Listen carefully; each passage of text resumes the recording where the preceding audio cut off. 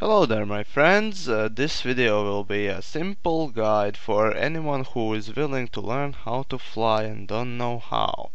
So I'm gonna go over controls and then go to maneuvers. I'm gonna explain controls on keyboard, not joystick in case you are using it. There are 7 keys on keyboard that I recommend you to use. W, A, S, D, Control, Shift and Space. So what does WASD buttons do? W key induces forward thrust. S button reduces this forward thrust that W key has induced. A key and D key slowly lets you turn left and right. From your perspective, space thrusts you upwards, but control downwards.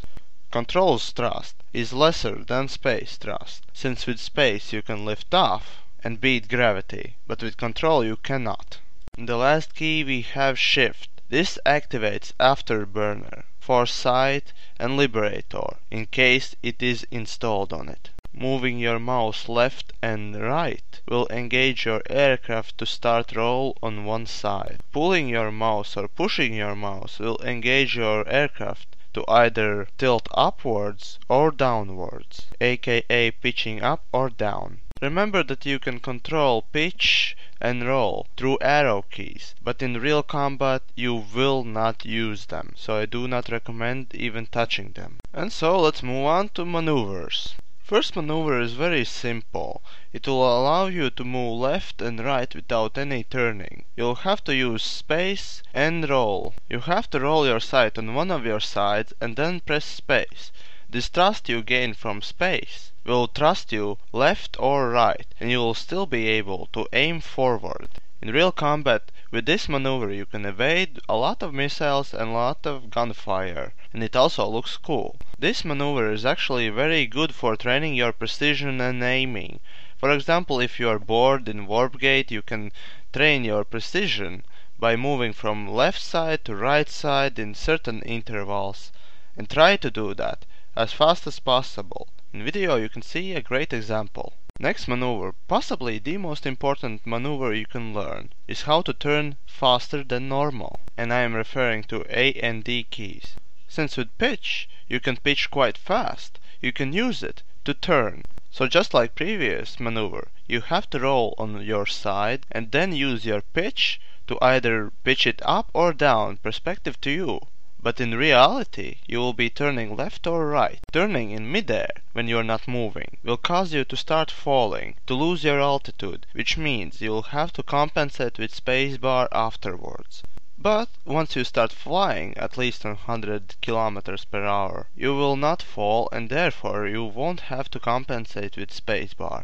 You will get stuck, and to get out you will need to reverse, but there are no reverse button on any aircraft so you'll have to improvise. And to go backwards, you just need to tilt your sight upwards and slowly press space. But if you're not stuck, forget about slowing down, you can press space all you want. But remember to avoid other enemy or your friendly aircrafts, and buildings and other obstacles of course.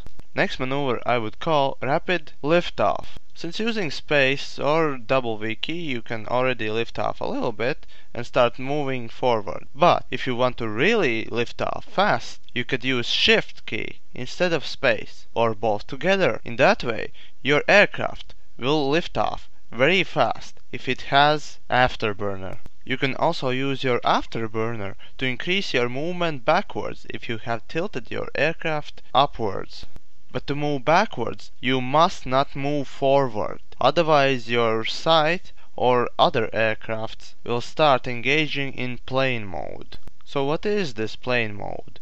It's basically when aircraft is acting more like a plane, not helicopter, which it does when you're not moving forward. So all maneuvers I've been talking about have to have heli mode, except rapid turning. There are two ways to move forward. One is by pressing double W key, another one is pressing space. When you're pressing space and moving forward, S key has no effect on it, so it won't break. Knowing this, and also using rapid turn maneuver, and maybe A or D button depending on which direction you will turn, you can execute reverse maneuver. So you start off by turning on one of your sides and pitching down, which will execute the turn maneuver. At the same time, press A or D key, depending on which direction you are going, and space button to move yourself forward. But in actuality, once you turn, you'll start moving backwards, which is the point of reverse maneuver. It's being able to aim at your enemy while you're moving backwards. And this is another way how to move backwards. This maneuver is definitely used in dogfights, when ESFs are fighting each other, and the one who is winning usually is the one who can turn faster and at the same time can aim at the enemy and of course start shooting.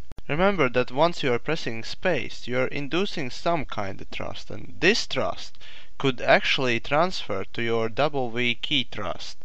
Therefore, I would suggest you to always press S button when you are executing one of these moves, except turning maneuver in case you are flying. So guys, to really learn how to fly is not only knowing the theory, but also having some practice. So for me, at least at first, it took almost all trees in Indar to ram before I actually learned how to fly. Maybe you'll be luckier, maybe not, who knows. However, I hope you enjoyed my lessons on flying and I really hope that you'll be able to learn how to fly through these maneuvers I've told you. And so, as usual, please uh, give thumbs up to this video and uh, subscribe to my channel. There are a lot more tutorials for you to see on PlanetSide. And maybe, who knows, in future some more stuff will come up. So stay tuned. And also go to Woodman server on Vanu sovereignty, of course, because we're the best and we're the enlightened. And uh, I'm a part of KOTV outfit, so maybe you'll enjoy playing with us. And I see you next time.